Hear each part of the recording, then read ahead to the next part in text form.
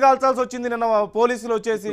ఎవరు అంటే ఇప్పుడు కూటమి నాయకుల ఎవరు దాడి చేస్తారు? ఎవరు దాడి చేస్తారు? రజనీ గారు. ప్లీజ్. సార్ నందు గారు లాస్ట్ టైం జరిగిన ఎలక్షన్స్ ఎలా జరిగిందో మనందరికీ తెలుసు. ఈ రోజు బీజేపీతో కలిసి కూటమి ప్రయాణం ఇలాంటి గొడవలు జరగకుండా ఉండాలి ఎలక్షన్ ట్రాన్స్పరెంట్గా జరగాలి. ఒక వ్యక్తి ప్రాణాన్ని ఓటర్గా చూడకూడదు ప్రాణంగా చూడాలనే ఒక నేపథ్యం. ఇందాక చెప్పినట్టుగా మాచర్లలోనండి సాగర్ పరిసర ప్రాంతాల్లో కొన్ని ప్రత్యేక ప్రాంతాల్లో ఊళ్ళు వదిలి వెళ్ళి పారిపోయిన వాళ్ళని ఈ లావు శ్రీకృష్ణదేవరాయలు గారు డీజీపీ దగ్గర స్వయంగా నాతోనే లెటర్ పెట్టించి వాళ్ళ ప్రాణానికి రక్షణ కల్పిస్తున్నాం. వాళ్ళు తిరిగి ఈ మాచర్ల పరిసర ప్రాంతాలు సాగర్ ఏరియాలకు వచ్చి ఓట్లు వేయమనండి వాళ్ళ ప్రాణాలకి రక్షణ కల్పించమని పోలీసులకి లెటరు డీజీపీ ఆఫీసుకి స్వయంగా నేనే పెట్టొచ్చానండి. వీటి సారాంశం ఏంటంటే ఏ గొడవలు జరగదు ఏ ప్రాణ నష్టం ఉండదు. మాది పూచి అంటూ గౌరవ ఎంపీలు ఎమ్మెల్యేలు వాళ్ళ నెత్తినేసుకున్నారండి కానీ జరిగిన ఘటన ఏంటండి? ఎంతమంది తలకాయలు పగిలిని? ఈరోజు పోలీసులు ఇటున్నారా అటున్నారా అంటే ఈరోజు ఐదు వేళ్ళు ఒకేలాగా ఉండవని కొంతమంది అధికారం మారిపోతుంది. ఈరోజు రాబోయేది కూటమి ప్రభుత్వమేనని కొంతమంది. కొంతమంది అక్కడే ఇంకా డబ్బులు లంచాలకి వంగిన వాళ్ళు కొంతమంది. రెండు రకాలు ఉంటారండి. ఈరోజు ఎన్ని తలకాయలు పగిలినాయో మాచర్ల పరిసర ప్రాంతాల్లో మాకు తెలుసండి. సాగర్ ఏరియాలో ముఖ్యంగా జనసేన వాళ్ళు ఎక్కువ ఉన్న టైంలో అక్కడ చెప్తారట మీరు గనక మాకు పని చేయకపోతే మీ ఇంట్లో గంజాయి ప్యాకెట్లు పెడతాం. తెలంగాణ నుంచి మందు నాలుగైదు బాటిల్స్ పెడతాం. ఈ సాగర్ ఏరియాలో కరెంట్ ఆపేస్తాం నీళ్ళు ఆపేస్తాం. ఈ రకంగా వాళ్ళని భయభ్రాంతులకు పెట్టి ఇందాక కూడానండి ఒక గంట రెండు గంటల క్రితం కూడా మా మీద అటెంప్ట్ మర్డర్ సెక్షన్ పెట్టారక్క. ఒక యాభై మందిని మమ్మల్ని లోపలేశారు. మీరు కర్రలు తీసుకొని వచ్చారు అంటున్నారట. కర్రలు తీసుకొని రాకముందు కత్తులతో దాళ్ళు చేస్తే చేతిలో ఆయుధాలు లేక వాళ్ళ దగ్గర ఉండే జెండా కర్రలు తీసుకొని వాళ్ళ మీదలకు వెళ్తుంటే ఆ వీడియో పెట్టి three not seven attempt murder section పెట్టారంట. వాళ్ళు గాజు సీసాలతో తలకాయలు పగలగొట్టి హాస్పిటల్లో అడ్మిట్ అయిన విషయాలకి ఆధారాలు లేవట. వీళ్ళకి ఒళ్ళంతా పగిలిపోయి రక్తం వచ్చేస్తుంది. ఎందుకు సార్ ఇలాంటి ఎలక్షన్స్? మీరు ప్రాణాన్ని కాపాడగలిగితేనే పిలిపించండి. ఈ రోజు నేనే స్వయంగా లెటర్ పెట్టి రండి సార్ ఓట్లేయండి మీ ప్రాణాలకి పోలీసులు రక్షణ కల్పిస్తారన్న. కొన్ని చోట్ల రక్షణ కల్పించారు కొన్ని చోట్ల చేతులు ఎత్తేసారు ఎందుకంటే పోలీసులవి కూడా ప్రాణాలే కదండి. ఈ రోజు కర్రలు తీసుకొని నరసరావుపేటలో దాడులు చేస్తుంటే ఒక క్యాన్వాయ్ వెహికల్ నుంచి పోలీసులు కింద కూడా దిగిన పరిస్థితి అండి. ఎందుకంటే వాళ్ళవి కూడా ప్రాణాలే. అటురాళ్ళు ఇటురాళ్ళు మధ్యలో పోలీసులు భార్యలు బిడ్డలు వాళ్ళు కూడా భయభ్రాంతులకు గురవుతున్నారు. పల్నాడు ఏరియాలో మీరు ఎలక్షన్ వేయించుకున్నారు. జాగ్రత్తగా ఇంటికి వస్తారా? మెడికల్ లీవ్ పెట్టుకోండి వెళ్ళకండి. ప్రతి ఒక్కడిది ప్రాణమేనండి. ఈ రోజు కూటమి కలిసిన ఆంతర్యం ఏ ఒక్క ప్రాణం నష్టం లేకుండా ఎలక్షన్ జరిపించగలగాలని. అక్కడక్కడ చెదురు ముదురు ఘటనలు జరుగుతున్నాయండి.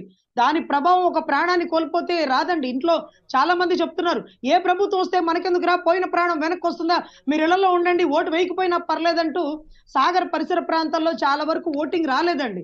చాలా మంది ఇళ్ళలో దాక్కున్న పరిస్థితి.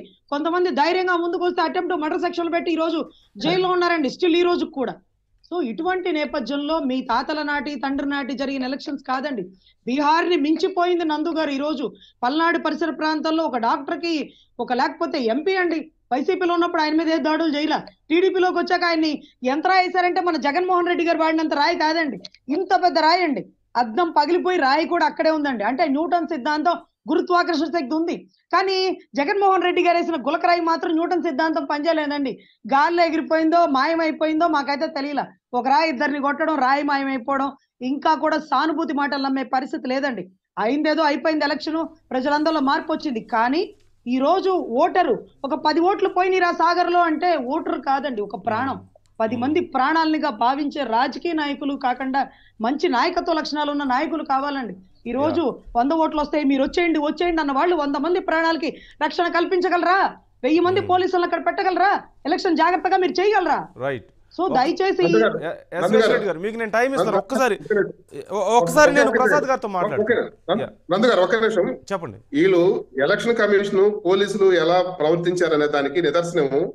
నిన్న స్వయంగా ఎక్కడో కాదండి మా. నెల్లూరు జిల్లాలో గూడూరు కాన్స్టిట్యున్సీలో నిన్న జరిగిన విషయం చెప్తాను. మా గూడూరులో కొన్ని ఏరియాల్లో టీడీపీ వాళ్ళు పబ్లిక్గా బూతులు కాడకు పోయి హల్చల్ చేశారు.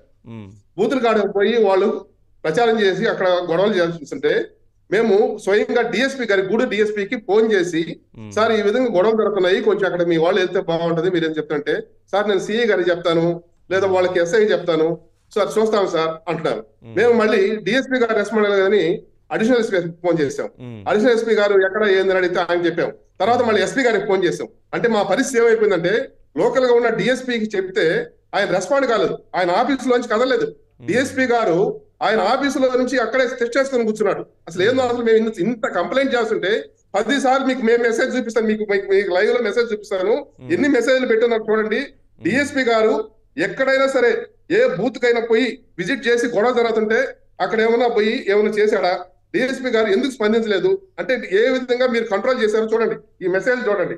ఎలా మీ ఎలక్షన్ కమిషన్ కంట్రోల్ చేసిందంటే అధికారుల్ని ఎవరిని కూడా సరే గొడవ ఏదైనా టీడీపీ వాళ్ళు గొడవలు చేస్తుంటే మీరు వెళ్ళొద్దని చెప్పనేసి వాళ్ళకి వాళ్ళకి ఇన్స్ట్రక్షన్స్ ఎందుకంటే అందుకంటే వైసీపీని ఏ విధంగానే సరే మనం ఎదుర్కోలేమని చెప్పని ఈ విధంగా వాళ్ళ ఎలక్షన్ కమిషన్ చేతిలో ఉంది కాబట్టి అధికారులని పోలింగ్ ఆఫీసర్ని లేదా వీళ్ళని వాళ్ళని మేనేజ్ చేయాలని చూస్తున్నారు పోలీసుల్ని ఇంకా చెప్తున్నారు. ఏది? పోలీసులు అంట మా ఇందాక మాట్లాడుతున్నారు. మీదైనా మీరు ఏదైనా ఎక్కువ చేస్తే గంజాయి పట్ల గంజాయి పెట్టి కేసులు పెడతాం ఇంకోటి పెట్టి కేసులు పెడతామని చెప్పని చెప్పారు. మరి పోలీసులు మా వైపే ఉన్నారు మాకు అనుకూలంగా ఉన్నారు అని చెప్పి పోలీసులు కాదు సార్ పిన్నెల్లి రామకృష్ణారెడ్డి గారి తాలూకా బంధువులు తురకా కిషోర్ గారు వీళ్ళందరూ భయప్రాంతులకు గురి చేస్తున్నారు. అది సాగర్ బోర్డర్ కదా. సాగర్ బోర్డర్ కదా. తెలంగాణ మందులు నాలుగైదు పెట్టేస్తే చాలా అయిపోయినట్టే. కేసు కట్టేసుకుంటారు. వీళ్ళు ఏంటంటే అక్కడ మా వాళ్ళకి ఆ విధంగా బెదిరించారు. మీరు గారు ఎక్కువ చేస్తే? మీ వాళ్ళని బెదిరించే వాళ్ళు కూడా ఉంటారా సార్? ఏది మీ వాళ్ళని? ఏది పసుపు కలర్ చొక్కాలు వేసుకుంటే నడి రోడ్డు మీద కొట్టిన వాళ్ళని? కొడితే వెనక్కి తిరిగి డ్రైవర్ని కింద పడేసి కొట్టేసిన వాళ్ళని అమర్నాథ్ గౌడుని తగలబెట్టిన వాళ్ళని మిమ్మల్ని కొడతారా సార్? మిమ్మల్ని కొట్టే స్థాయి ఉందా? డోర్ డెలివరీ చేసి నేనే చంపానని ఒప్పుకున్నాడు? ఎమ్మెల్సీ అనంతబాబు మిమ్మల్ని మీద దాడి చేస్తారా? మీ మీదకి దాడి ఏదైనా ఉంటే కేవలం దాడి చేయడం. మాటతో కూడా ఎదుర్కోలేదు. ఒక ఇంకోటి జెండా కర్రలు తీసుకొచ్చినాము అని చెప్తున్నారు యా. అంటే జెండా కర్రలు తీసుకొచ్చినాము అని చెప్పి స్వయంగా చెప్తున్నారంటే ఆలోచించండి. అది జెండా కర్ర అవునవును గాజు సీసాలు పెట్టి తలకాయలు బాగా కొట్టారన్నారు అది వినపడదా. గాజు సీసాలు ప్రసాద్ గారు చూడండి సార్ పాపం. ఒక్క నిమిషం. ఓట్లు వేయడమే పాపమా? మీరు పథకం పన్నారు. మీరు దాడులు దాడులు చేయాలన్నటువంటి కాదు ఒక్క దురుద్దేశం. నిమిషం ఆగండి. దాడుల గురించి మీరే చెప్తున్నారు.